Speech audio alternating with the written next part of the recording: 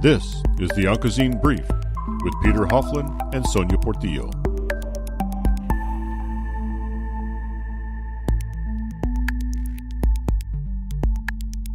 Today in the Oncozine Brief, we're bringing you an interview with Dr. Michael Caligiuri, recorded during the 2018 annual meeting of the American Association for Cancer Research, AACR, held April 14 through 18, 2018 in Chicago, Illinois. Dr. Michael Caligiuri is a renowned physician scientist known for his work in immunology that is focused on human natural killer cells and their modulations for the treatment of leukemia, myeloma, and glioblastoma. To date, over 1,500 cancer patients have been treated on clinical protocols that have originated from Dr. Caligiuri's laboratory. Dr. Caligiuri is the president and physician in chief of City of Hope National Medical Center in Duarte, California. Founded in 1913, City of Hope is one of only 49 comprehensive cancer centers in the United States, as designated by the National Cancer Institute. The center's main campus is located just northeast of Los Angeles, with additional locations across Los Angeles, Ventura, Riverside, Orange, and San Bernardino counties, and focuses on treatment of patients with cancer, diabetes, and other life threatening illnesses. Before joining City of Hope, Dr. Caligiuri was the director of the Ohio State University Comprehensive Cancer Center and CEO of the Arthur G. James Cancer Hospital and Richard J. Solove Research Institute in Columbus, Ohio. He was also the 2017 president of the American Associations for Cancer Research, AACR, which is the world's oldest and largest professional association related to cancer research. Based in Philadelphia, Pennsylvania, the AACR focuses on all aspects of cancer research, including basic, clinical, and translational research into the cause, prevention, diagnosis, and treatment of cancer. I'm Peter Hofland, Sonia Portillo is on assignment, and this is the Oncozine Brief. Last year, following his appointment as the AACR president, Sonia Portillo, my co host, and I sat down with Dr. Caligiuri to ask him about his passion, his hopes, his drive, and what he wanted to accomplish during his tenure as president of the American Association for Cancer Research during 2017 and the beginning of 2018. This year, at the end of his tenure as president of the AACR, we again had the opportunity to sit down with him this time we wanted to ask him about his experience and how he was able to help solve some of the key challenges he had noted before. Dr. Caligiuri has been actively involved with the AACR since 1919, serving as member and more recently chairperson of the Publications Committee and a member of the Clinical and Translational Cancer Research Committee, among other things. One of Dr. Caligiuri's main concerns, indicated in our interview in 2017, is the problem of cancer health disparities that represents a major public health problem in our country. By promoting the exchange of novel ideas and information between the AACR and a wide range of professionals from academia, industry, government, and the community, Dr. Caligiuri hoped to drive a movement to help eliminate the disparities and harness the potential and maximize the many opportunities for bringing research on health disparities from bench to bedside or community and back again. As part of that effort, he wanted, during his tenure as president of the AACR, bring together scientists and other professionals working in a variety of disciplines to discuss the latest findings in the field and to stimulate the development of new research in cancer health disparities. And it must be said, one of the challenges society faces today is how to ensure that everyone benefited equally from the groundbreaking advances in cancer treatment and prevention. Cancer health disparities are indeed a huge problem. For example, African Americans have the shortest survival for most cancers compared with those in other racial and ethnic groups in the United States. Hence, there is a large unmet need to do more to understand the reasons for disparities, as well as ways to address them. The issue of disparities is complex, it's multifactorial and it's a problem that involves genetics, behavioral, and socioeconomic factors, among others. And it will require a multifaceted, evidence based approach to solve the problem. In our interview, Dr. Caligiuri is addressing some of the problems as well as what he and the AACR hopes to accomplish in the upcoming years. Let's listen. Welcome to uh, the program, Dr. Caligiuri. Thank um, you. A, a, year ago, we sat here uh, in April, um, actually in Washington, D.C. at that time, and um, you were just elected as the president uh, of the AACR. Um, you had a lot of hopes, a lot of uh, things that you wanted to accomplish in the year that you were the president of the organization. Um, uh, how did that go? How did that year go so far? I mean, well, uh, well, it's it's come and gone. As of 24 hours, I'm past president, so I'm breathing a little uh, deeper uh, with a little more calm. Uh, that is to say that it's been a whirlwind year. Um, I was humbled and continue to be humbled by the depth and breadth of what our organization, the American Association for Cancer Research, does in literally every corner of the world. I mean, we are now 40,000 members and we're in 120 countries. We're the oldest and largest cancer research organization in the world. And having that many constituents in that many places uh, puts enormous responsibilities on us to be responsive to all sorts of needs. So the most uh, impressive aspect of my presidency is what I've learned. And man, it is impressive. And it's impressive because of our leader. Uh, Dr. Margaret Foti is a force unto herself. You know, she is a force of nature. She's been with us three decades. You know, I was trying to think of an organization which has had such stable and innovative leadership over three decades um, that has grown as we have grown in that time and I can think of no other. So she's unique in the world, and I've tried. I've tried, and I've asked others. She's really unique in the world. So I'm, I'm, I've learned so much under her leadership. It's been wonderful. Now, if you um, if you look at some of the things that uh, you were talking about last year, um, I remember one of the things that you were uh, really keen on influencing was the issue of disparities.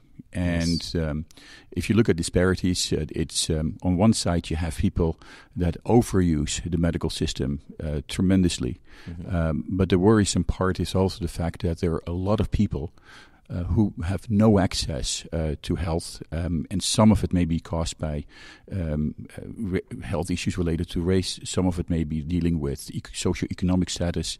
Um, some may also have completely different reasons. Um, so, when you look at that, um, how did you?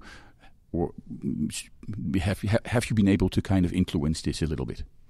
I think so. So the way, just to back up a second, the way I think of health disparities is in terms of um, cancer health disparities outcomes, and by that, just to define it, I mean five people have the same tumor, and there are different outcomes based on, as you said, race or ethnicity or geography or socioeconomic status or other barriers. And so that's what I looked at. And when you look across the continuum, African Americans are disproportionately affected. So race appears to be a very important factor. In fact, overall, you know, there's something like 25% worse outcomes for African Americans across all cancers. Hmm. It's just startling. Prostate cancer, they get it sooner, they present with later stage, and they die younger. Breast cancer, about the same incidence, but there's a disproportionate amount of what's called triple negative, so the poor prognosis. So the death rate is worse. So I decided to um, try to take this piece by piece and see if we couldn't get something important done during my year. And I'd be glad to explain what got launched as my presidential initiative right. called 2020 by 2020. Okay, let's take a short break here and then we talk some more. If you're just joining us, our guest today is Dr. Michael Caligiuri. Dr. Caligiuri is a renowned physician scientist known for his work in immunology that is focused on human natural killer cells and the modulation for the treatment of leukemia, myeloma, and glioblastoma. He is the president and physician in chief of City of Hope National Medical Center in Duarte, California. Before joining City of Hope, Dr. Caligiuri was the director of the Ohio State University Comprehensive Cancer Center and the CEO of the Arthur G. James Cancer Hospital and Richard J. Solove Research Institute in Columbus. He was also the 2017 president of the American Association for Cancer Research. We'll be right back. I'm Peter Hofland, and this is the Oncozine Brief.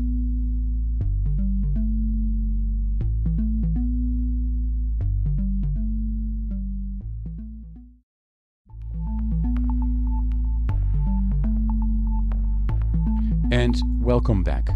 This is Oncozine Brief. And if you're just joining us, our guest today is Dr. Michael Caligiuri.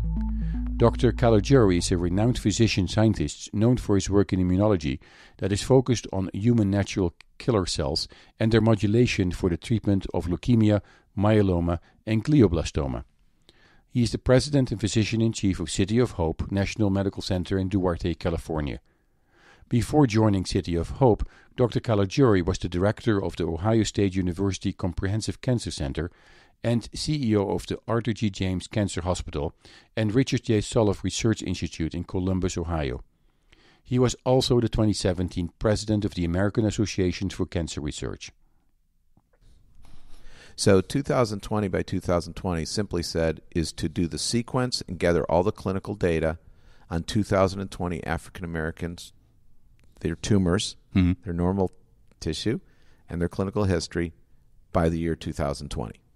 And to do this, we want to do this in a environment which is conducive to consenting patients to what we call the total cancer care protocol.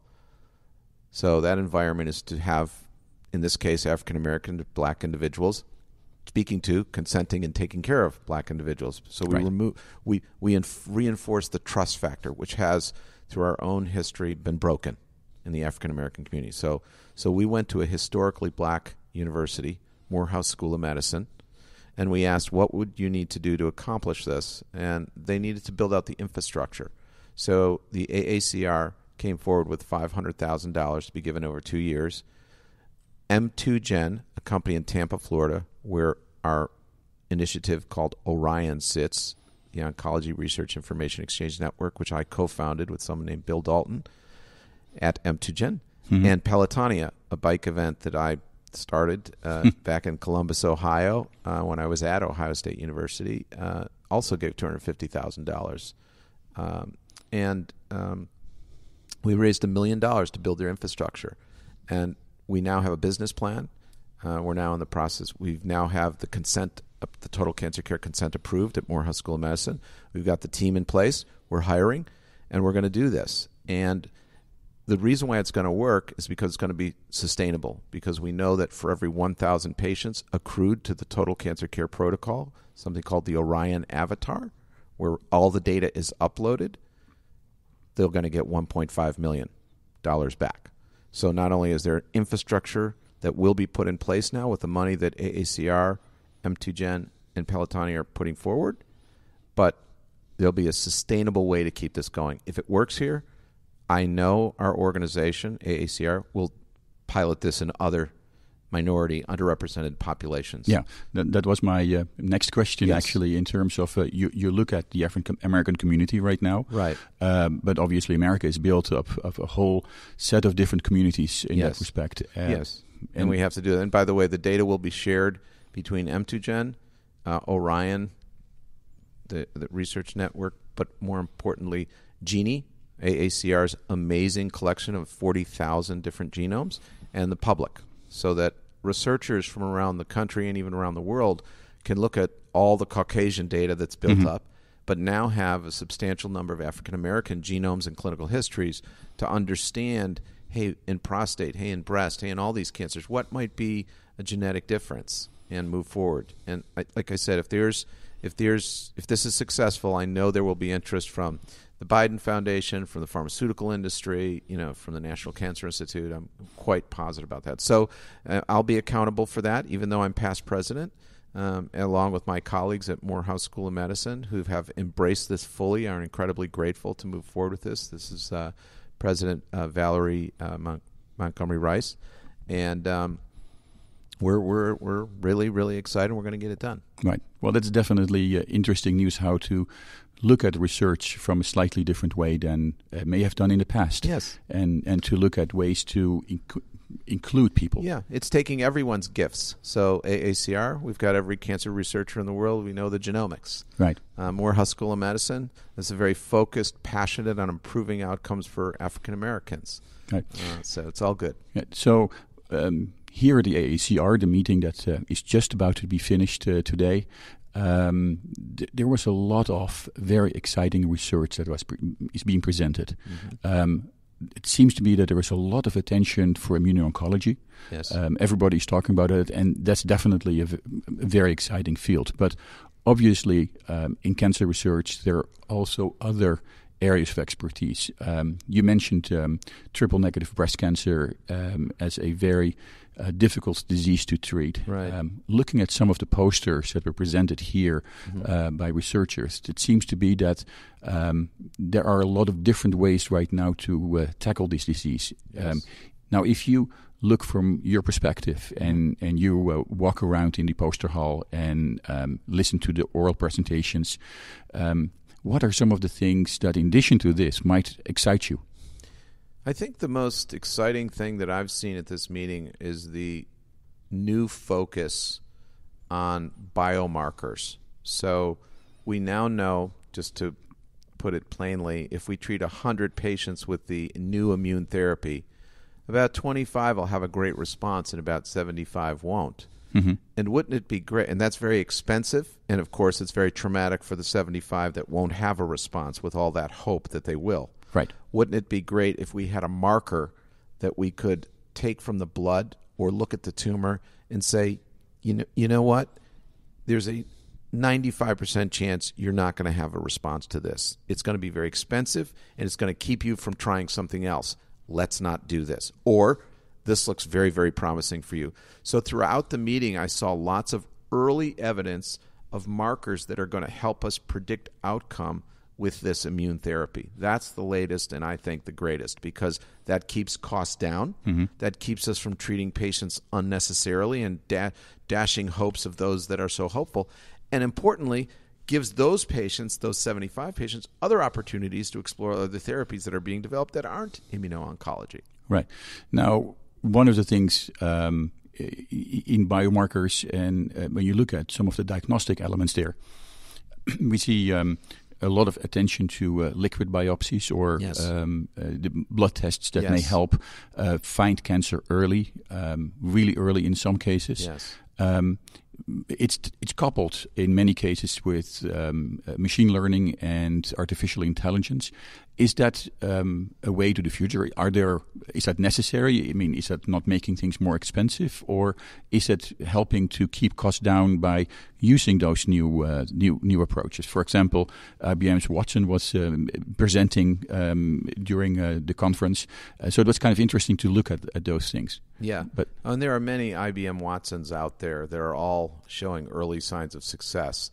The problem with all of these to date, and a mm-hmm. problem that will be solved, is we don't yet have enough data because we are so different. So if I wanted to find 50 people just like you across the world, just like you, mm-hmm. maybe your height, your hair color, your interests, that's hard to do right now. I can't go to a database and find that. Could be Facebook, could be. But Right. those databases like Facebook, for example, like Amazon, they're being built, and we're building those in healthcare. The numbers have to be very, very big. I think they are very important. General screening for the general public, probably not a good idea at this time. But screening a cancer patient for susceptibility genes. So, you know, at City of Hope, where I am now in, in Los Angeles, you know, you come in with cancer, there's a good chance, a good chance that you might have a gene in your that you're passing on that um, makes you more susceptible to cancer. After all, you have cancer, I don't, for example. But to do this on everybody, where we all don't have that same risk, we're not. That is very expensive, and at this time, with the technology, in my opinion, not very uh, sound use of our money. But screening a cancer patient to see if they carry a gene that's passed on to their others, and then going after the others and putting them in special screening programs, that that I think makes a lot of sense. Our guest today is Dr. Michael Caligiuri. Dr. Caligiuri is a renowned physician scientist known for his work in immunology that is focused on human natural killer cells and the modulation for the treatment of leukemia, myeloma, and glioblastoma. He is the president and physician in chief of City of Hope National Medical Center in Duarte, California. Before joining City of Hope, Dr. Caligiuri was the director of the Ohio State University Comprehensive Cancer Center and CEO of the Arthur G. James Cancer Hospital and Richard J. Solove Research Institute in Columbus, Ohio. He was also the 2017 president of the American Association for Cancer Research. After a break, We'll talk a little bit more with Dr. Caligiuri. I'm Peter Hofland, and this is the Oncozine Brief.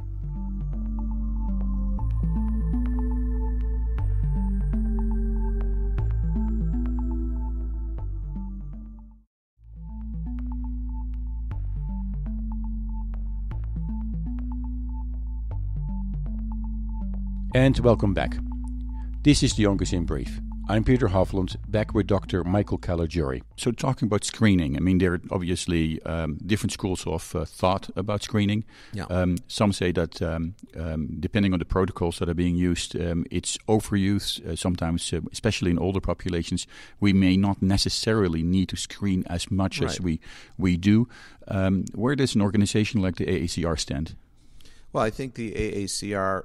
By the way, when I say screening, what I'm what I'm talking about, because of course there's mammography, right. there's PSA. I'm talking about, and I should have been clear, genetic tests. Right. Okay. So you know the 23andMe kind of test. You know, you take a little blood or a little sputum and you send it away.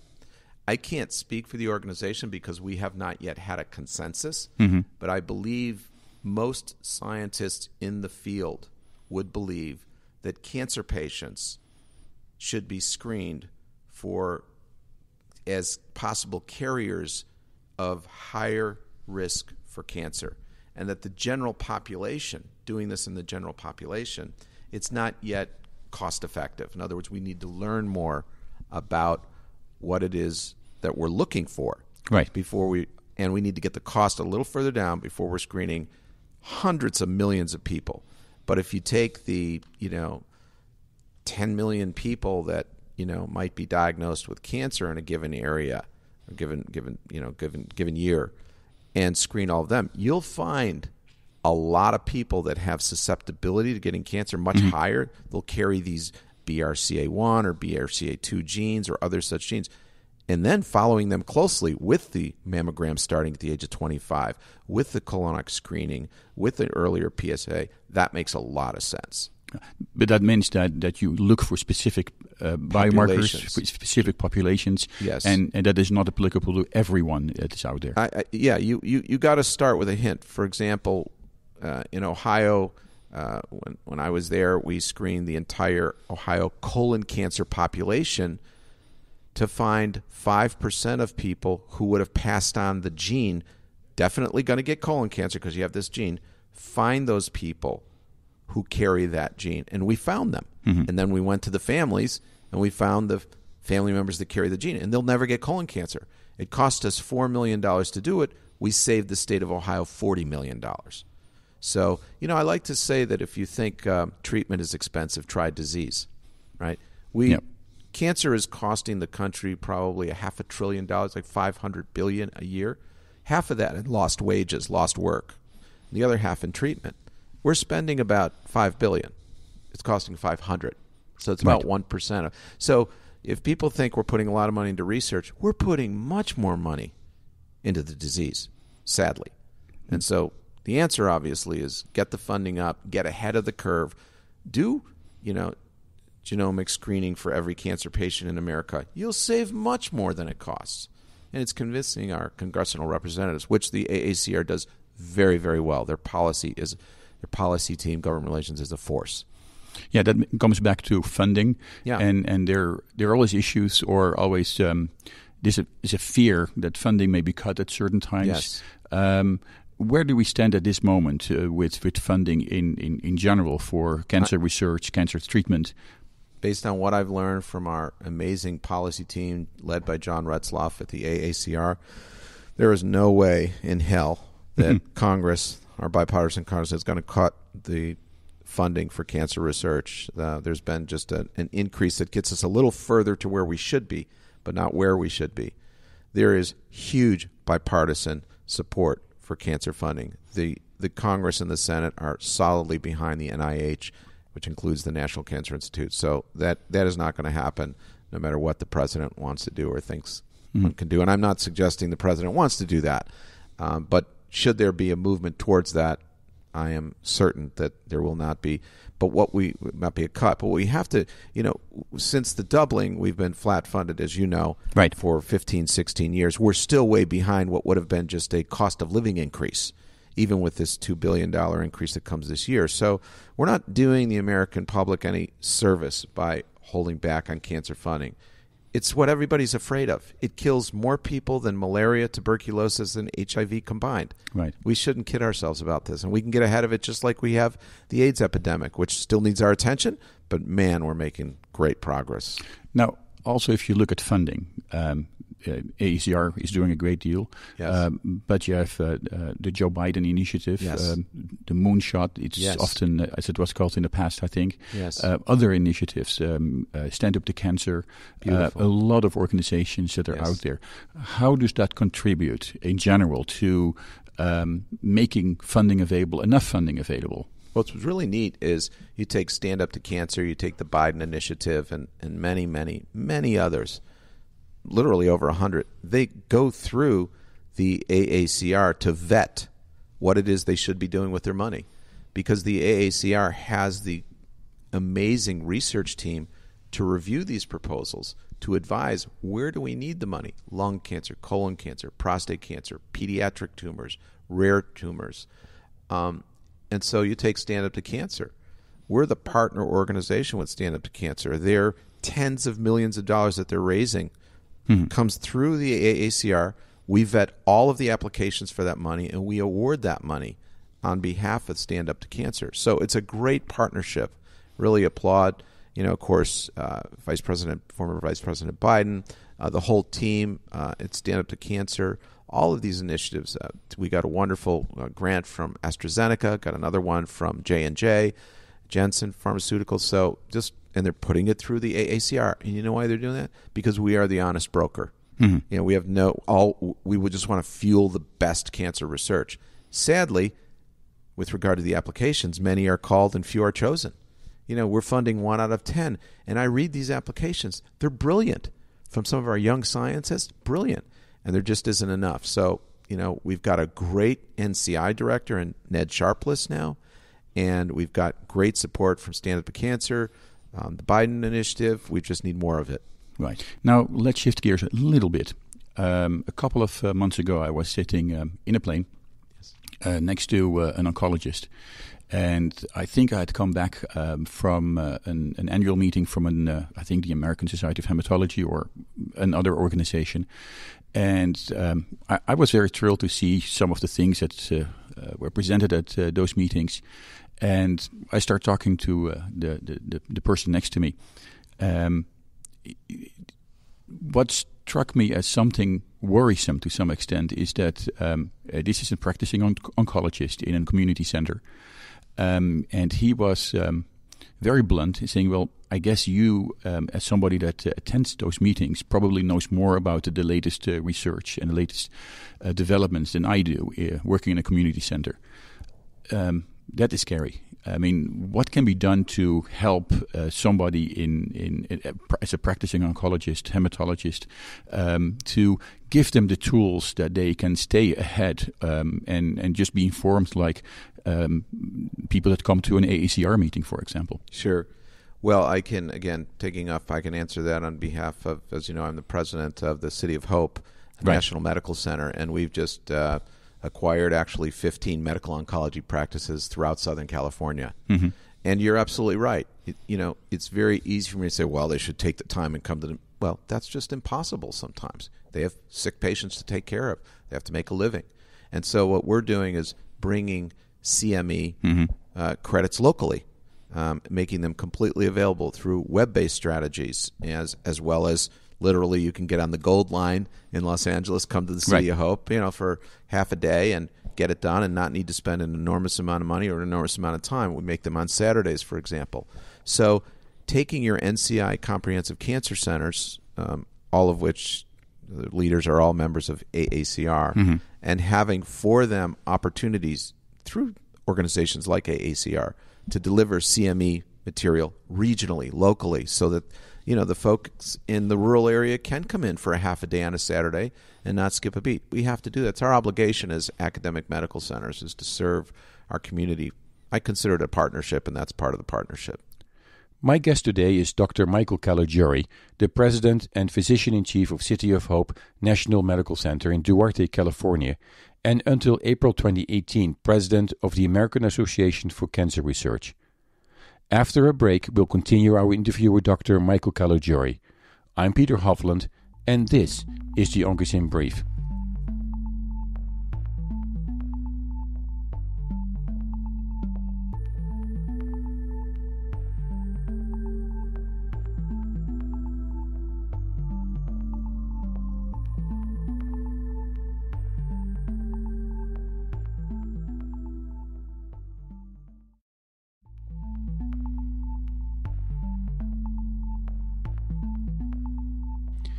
This is the Oncozine Brief.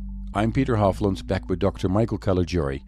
We're talking with Dr. Michael Caligiuri about his tenure as president of the American Association for Cancer Research.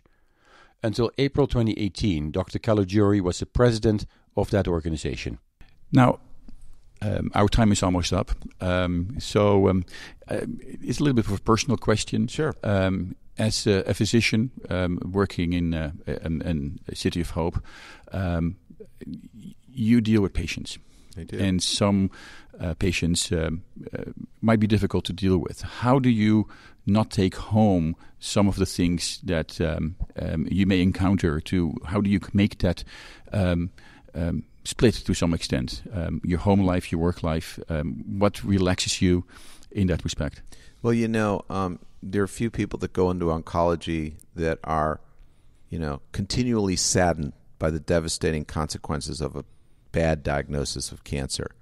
For someone like myself, when that happens, in the vast majority of instances, I pull from that the um, passion I have and the enthusiasm I have for just not letting this happen again. You know, I have a saying, and I, I got this from a company called Agenus. It's their mm-hmm. tagline, mm-hmm. and I want to give them credit. The patient is waiting. We're continually inspired by the notion that there are more out there that need an answer to those three words you have cancer. I've had the privilege as a leukemia physician to s- respond to that by saying, I have some very good news for you. And that's always the inspiration that having had that experience innumerable times now with 15.5 million people in America cured of cancer, that's where I go. That's how I'm able to carpet, carpet, compartmentalize, excuse me, um, you know, the sadness of losing someone and doing the best job I can with helping them through that loss before it happens in terms of alerting them to where we're going, bringing the family together, bringing proper closure because, you know, death occurs to all of us. Now, when it happens to a younger person, of course, it's just all the more unjust.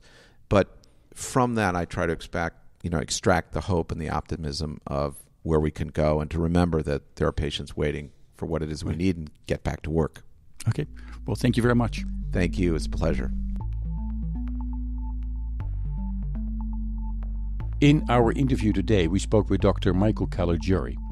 Until April 2018, Dr. Caligiuri was the president of the AACR.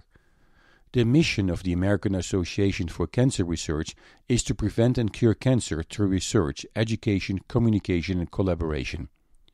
The AACR was founded in 1907 by a group of 11 physicians and scientists. These physicians and scientists were interested in research designed to further the interest in and spread of knowledge of cancer.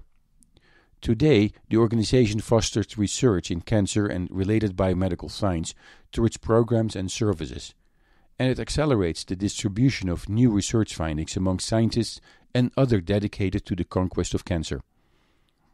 The AACR also promotes science education and training and advances the understanding of cancer cause, prevention, diagnosis, and the treatment throughout the world. For more information about the AACR, please visit the organization's website at www.aacr.org. This edition of the Oncozine Brief was originally recorded on April 18, 2018. For us here at the Oncozine Brief, we want to thank you our listeners and underwriters for your ongoing support. Thanks to your support, our program now has a wider reach with distribution via iHeartRadio in addition to PRX, Public Radio Exchange, and UK Health Radio. And you can also download our program via iTunes and Google+. Plus. In Arizona, our program can also be heard every Saturday between 1 and 2 p.m on Independent Talk 1100 KFNX, one of the top 10 radio stations in Arizona, reaching almost 5 million people throughout the state. For more information about that and how to support this program, check our online journal Oncozine at oncozine.com or visit our page at Patreon, that is P A T R E O N, at patreon.com forward slash the Oncozine Brief.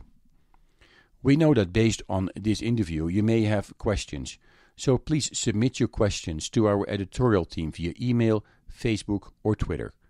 We'll post as many answers as we can on our website, Oncozine, that is O N C O Z I N E dot com. If you're living in the United States and want to receive our weekly Oncozine newsletter, text the word cancer to 66866. That is cancer, C A N C E R, to 66866. And we'll make sure that you receive our weekly Oncozine newsletter. Thank you all, and thank you for listening. And join us again for our next episode. I'm Peter Hofland, and this is the Oncozine Brief.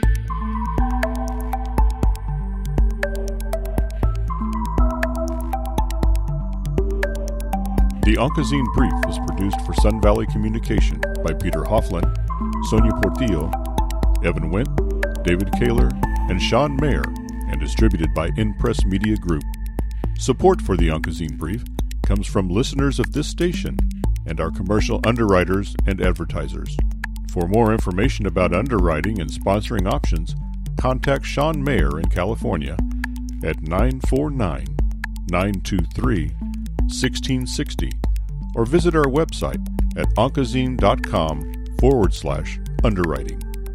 The Oncozine Brief contains health and medicine related information and is provided for educational and entertainment purposes only. The content is not intended as a substitute for professional medical or health advice and does not replace your doctor's advice. Your doctor is the best person to answer questions about your personal health. If you hear something in this program that doesn't agree with what your doctor has told you, ask him or her about it.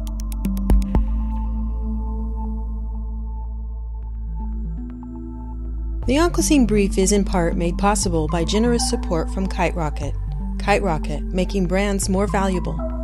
For more information about public relation beyond classic PR support, contact Martin Pierik at Kite Rocket in Phoenix at 602 443 0030 or visit their website at kiterocket.com.